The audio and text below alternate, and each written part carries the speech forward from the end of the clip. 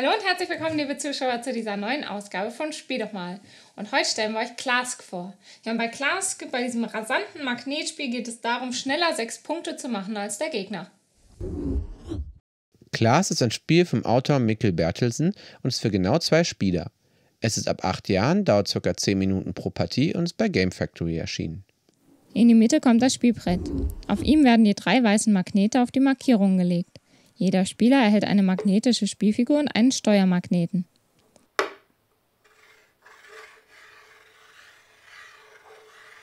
Die Spielmünzen werden auf die Nullen der Punkteleiste gesteckt.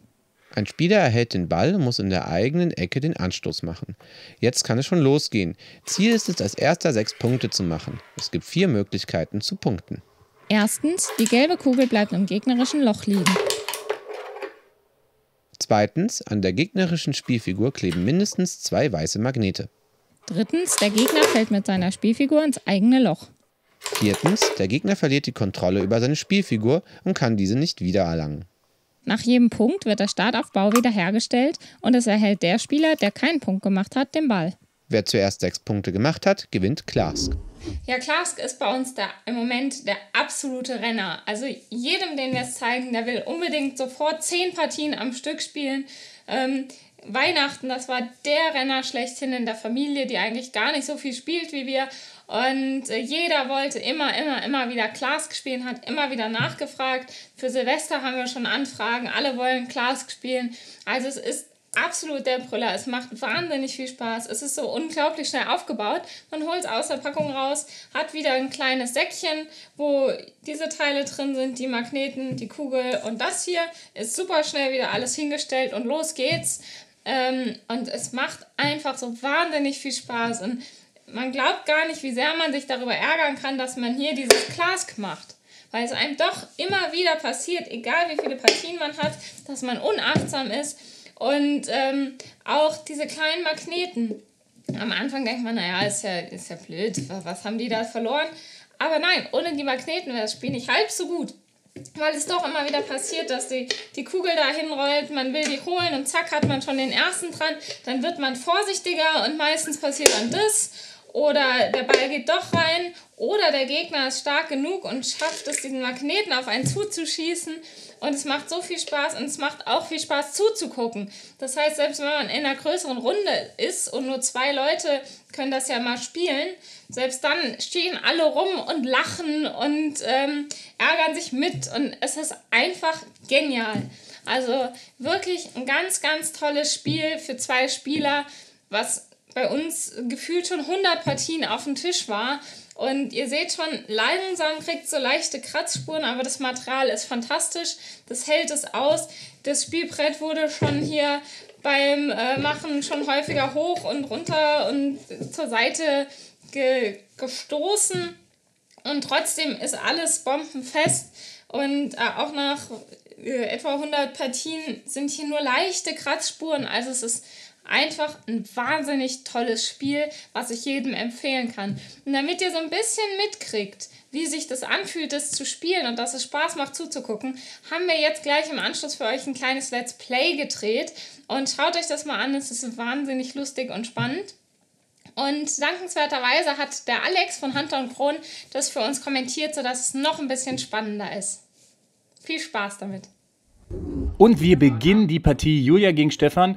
Julia nimmt sich den Ball, hat Anstoß. Ja, so ist das eben in einer Beziehung. Und das Spiel beginnt. Ja, schöner Anstoß, da gibt es erstmal nichts zu bemängeln, aber auch nichts Gefährliches. Da die erste Aktion von Stefan aufs Tor. Allerdings, äh, ja, noch nichts. Aber jetzt hier ein äh, kleiner Nachteil für ihn. Der erste Magnet klebt an seiner Spielfigur. Das ist natürlich immer ein Handicap. Und da wird auch schon der zweite Magnet in die Hälfte von Stefan gespielt. Das ist natürlich jetzt, ähm, ja, eine Einschränkung für ihn. Dieser Bereich, der ist jetzt etwas blockiert. Man sieht es auch schon, er ist etwas zügeliger in ähm, diesen Viertel.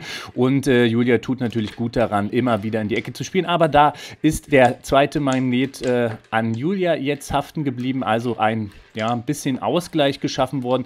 Nichtsdestotrotz liegt natürlich immer noch der Magnet auf Stefan seiner Seite. Etwas ungünstig, jetzt ein bisschen abgedrängt in die Ecke, aber er ist natürlich dort immer präsent. Und ihr seht schon, die beiden malträtieren ganz schön das Spielbrett. Da würde ich Ihnen empfehlen, die Hand am Brett zu haben. Ihr seht das auch aus der anderen Kameraperspektive. Da ist dann etwas mehr Stabilität im Spiel. Und da ist das erste Tor für Julia. Schön gemacht, über Bande gespielt. Hier seht ihr das auch in der Wiederholung. Ja, und da rollt der Ball schön im Tor hin und her, springt springt nicht raus. Klasse gemacht. Erstes Tor, First Blood sozusagen. 1 zu 0 für Julia. Stefan hat Anstoß, ganz klassisch. Schauen wir mal, wie er das macht. Ja, etwas seicht für meinen Geschmack, aber warum nicht? Und da schon wieder der erste Magnet in Stefans Hälfte. Julia ist hier etwas äh, versierter. Und, oh, ihr seht das schon, Magnet ins Tor und dann Ball hinterher hier in der Wiederholung. Ähm, ja, das ist oft so, wenn ein Magneten im Tor liegt, dann äh, ist die Wahrscheinlichkeit, dass der Ball dort wieder rausspringt, sehr gering. Und so äh, haben wir das auch hier gesehen. Also 2 zu 0. Anstoß Stefan und Julia schon wieder ein Magnet gespielt. Hat hier auf jeden Fall das Spiel mit den Magneten, mit den Hindernissteinen etwas besser im Griff und schon wieder im Tor. Ball rollt hinterher. Fast gleiche Nummer wie eben. 3 zu 0 für Julia. Ihr seht ja auch nochmal in der Wiederholung. Ja, sehr schön gemacht zack, über Bande, nach hinten und ins Tor. Ja, der gute Stefan stand da etwas verloren auf dem Feld Oh, jetzt sehr schöne Angabe. Erster weißer Magnet an der Figur von Julia diesmal. Aber Stefan hat sich auch schon wieder einen Magneten eingefangen. Jetzt kurzzeitig das Spieltempo mal erhöht und da knapp sehen wir hier auch schön am Rand entlang jongliert. Glück gehabt, der gute Stefan. Das wäre sonst schon das 4 zu 0 gewesen. Aber es ist nichts passiert. So kann das in Glas gehen. Ja, weg mit dem Magneten. Das ist wahrscheinlich für Stefan sogar richtig. Und das erste Tor 3 zu 1, 1 zu 3. Also hier seht ihr wieder Wiederholung. Ein Eigentor von Julia, könnte man sagen. Ähm, also bis jetzt hat eigentlich Julia die Tore geschossen. Die Magnete werden wieder resettet. Angabe Julia. Schauen wir mal hier, was sie macht. Sehr schön, wunderbar, perfekt. Das war sozusagen das 4 zu 1. Angabe, Magnet gespielt, ins Tor geschossen, Kugel hinterher, Kugel kann nicht mehr raus. Ein wunderbares Tor, wunderbare Angabe. So was wollen wir sehen. Ja, Angabe Stefan, weiter geht's. Es ist natürlich noch nichts verloren und hier das 2 zu 4. Schön gemacht, hat sich von dem Magneten nicht irritieren lassen, schön zurückgespielt und hier würde ich fast sagen, dass es eher so ein Abwehrfehler von Julia war. Trifft die Kugel nicht richtig, ging ja auch relativ schnell und sie prallt ab und ins Tor. Angabe Julia also an der Stelle. Ähm, trotzdem äh, immer noch favorisiert Julia hier. Oh, sehr schön gemacht. Da hat Stefan gar keine Chance gehabt zu reagieren. Weißer Magnet an ihn gespielt, fast ins Tor und jetzt nochmal Figur angespielt und Tor. Ihr seht das sehr schön in den Rücken gespielt. Das ist eigentlich unmöglich, wenn man so angespielt wird, dann irgendwas noch zu blocken. Die Kugel rollt dann meistens ins Tor. Ähm, ja, super gemacht.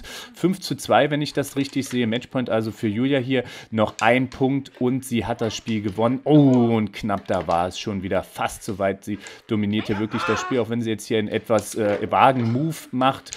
Ein Magneten, leichtes Handicap, aber sie geht deutlich versierter damit um.